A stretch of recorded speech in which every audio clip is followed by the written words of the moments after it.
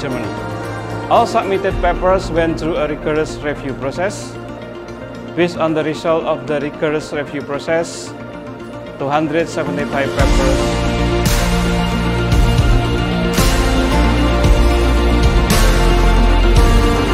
GST 2020. Publish di proceeding indikasi perjuangan berikutnya, tapi bahwa tahapan pertamanya sudah bisa kita selesaikan dengan baik. Terima kasih banyak. Banyak banyak terima kasih buat adik-adik mahasiswa, teman mahasiswa yang sudah meluangkan waktunya